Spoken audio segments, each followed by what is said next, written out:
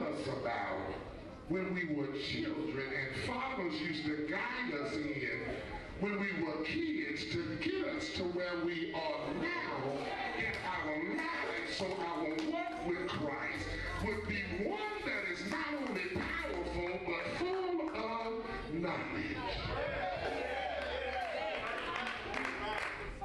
So mama used to say to us all the time, son, how you start this off though is it starts with your everyday living. So when you wake up in the morning, make sure you say a prayer for me.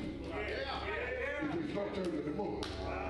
Right, I said, okay, mama, I'm gonna make sure when I get up in the morning, I'm gonna say a word of prayer for you and me. Right?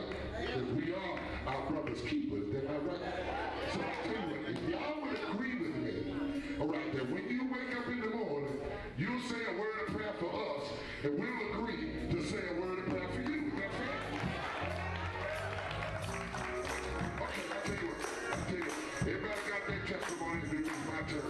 Let me see